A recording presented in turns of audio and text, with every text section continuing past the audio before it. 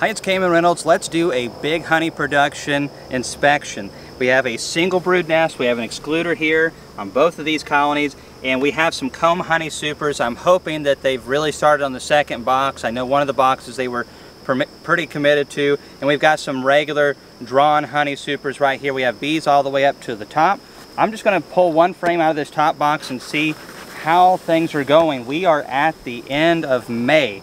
It is the 27th or 28th. It's one of those days, I think. Or are we in one of those days? We're close. All right, I'm gonna have to pull this apart. They have put bee glue and wax all over the place. Boy, that looks good. Oh yeah. So they built a little bit of bridge comb right there.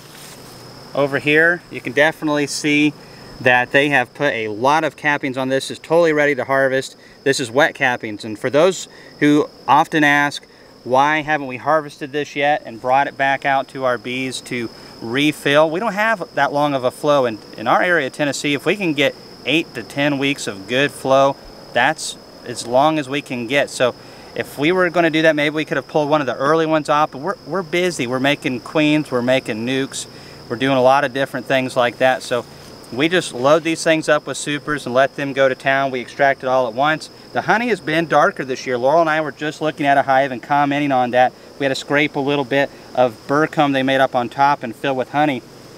And we, uh, we fed it back to the bees, um, but it, it was really amber looking. I think the tulip poplar had a really good year and, and the clover so far has not done a whole lot. Don't be like that, bee. I'm just wanting to check out what you got and maybe take it. Um, all right. Oh, goodness. This box has got a little bit of weight.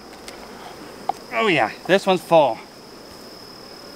So I've got a lid over here, and I'm just going to drop these things down. We're just going to keep going till we get to those comb honey supers. And then let's check out the brood nest and see if they're wanting to swarm. I might need to add a box of foundation and see if I can get them to draw that. I don't think there's enough honey flow to get another super, but I would love it if they started another box. This one's not all the way full yet. I'd say that one's about 75% full, gauging the weight. This one, the way it popped, it sounded lighter.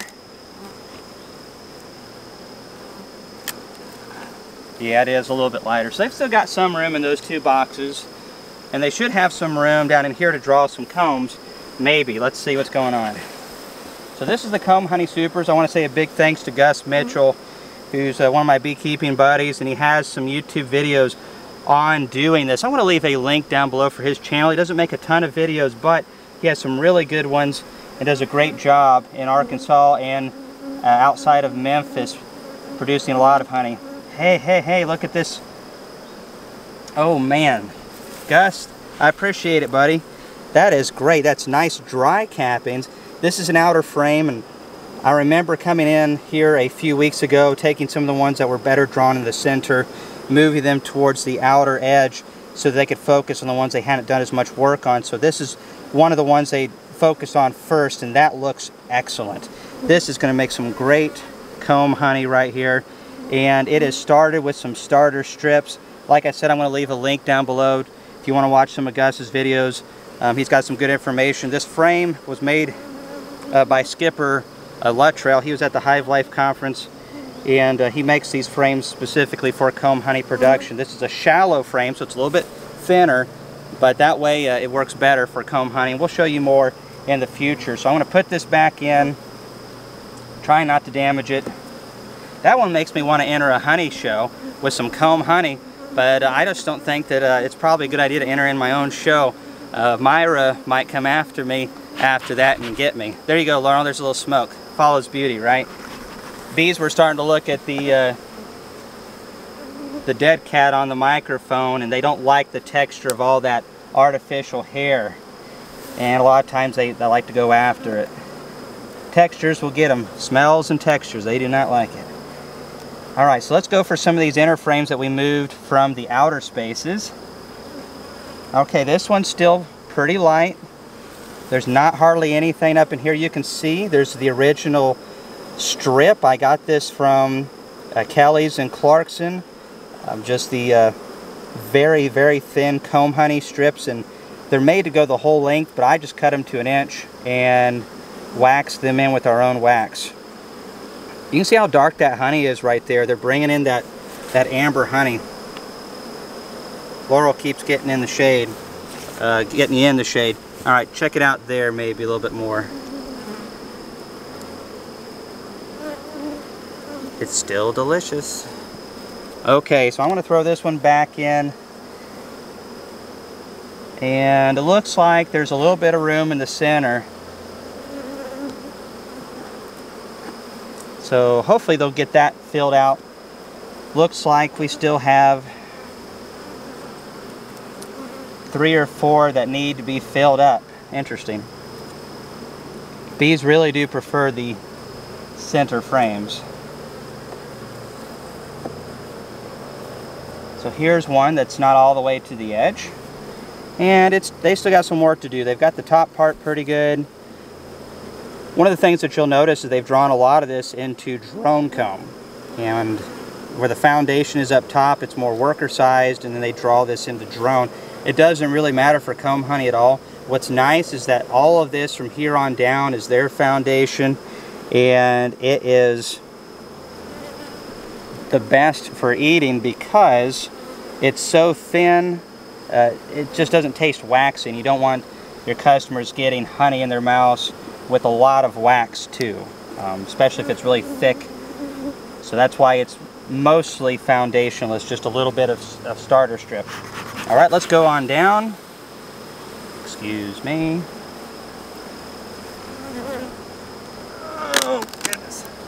You're really not supposed to stack them in the entrance like this. Look at all these bees we have trying to get in. Usually I stack them behind me. I wasn't thinking today. Oh, it's got some good weight, good weight. So let's see what they're doing in this one right here. It's looking like they might be drawing that one out a little bit too far. That one as in this one and this one. This edge comb I moved out. I did the same thing to this box. That looks really good right there. That's ready to harvest, it looks like. Try not to damage it. But then th these in the center, yeah, they haven't put a whole lot down in here either. So we still got some clover and some sumac. I'm hoping we can get a little bit of action down into these frames and, maybe get them filled up. We'll see what happens. It'd be awesome if I could get, even just get 10 frames, that would be great. And, you know, I don't know where I'm going to sell it, honestly. I don't have a market set up for this. I just wanted to try it out. I've never produced comb honey before. This is my first year, 21 years beekeeping, first year going after comb honey. And uh, I'm really anxious to try it myself. It's, a, I think, a cool part of beekeeping that uh, maybe should be done a little bit more often. I, that's my grandpa's favorite way to have it. All right, let's check the brood nest though. Let's be real quick. We don't have to do a whole lot here.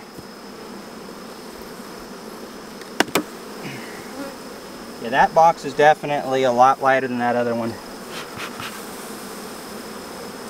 So we have our queen excluder to make sure she doesn't get up and lay in all those nice combs.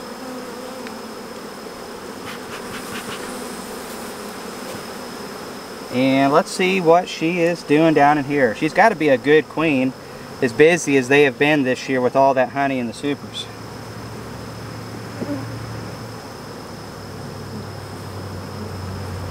And yeah, that answers the question right there. That is a great brood pattern. She's a bricklayer, that's what we call them. And it's emerging out on this end and looks like she's starting to deposit some eggs. I don't see her right off. I'm going to lay that right here. The main thing I want to see is, is there any swarm cells? Typically, once they've committed like this, and they've really done a good job of putting that honey above the excluder, you're not going to see a lot of honey down in here. You're just going to see brood and bee bread. And, oh, come on, there we go. There we go. And uh, so there's just, they do a really good job clearing the brood nest essentially. and making room for the queen. So there's more capped brood right there. Looks pretty good. Drop this down below. Not seeing any signs of swarming. Honestly, we're just going to grab one more frame, then we're going to do something, which is all you really needed to do before. Maybe check a frame, check underneath. So she's got some brood going over here, bee bread. Again, not a lot of honey. So if you take all the honey off of here, you have to feed them. That's one of the problems with single brood management. You get more honey, but you also have to do a lot more feeding. So a lot of bee bread. I'm seeing good patterns. And she is laying, laying, laying. I don't see any signs of swarming. Let's check down below real quick.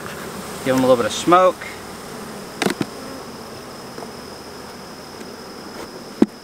Okay.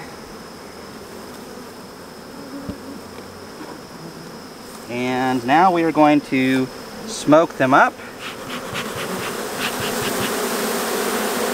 And we are just going to check down here for swarm cells. And a big colony like this, if they're wanting to swarm, you'll be able to see cells being developed on the bottom. That's where the majority of them are. And there's some, you know, little bitty cups here and there, you know, dry cups. That's not a problem. Here's a cup down in here. There's nothing in it. It's just dry. They keep a few of those around. This hive's not wanting to swarm at all. So good bit of bees here. A lot of them are still out in the field. The sumac trees are blooming and the nectar is pouring on in. Hopefully the sumac will give us a really good crop again this year.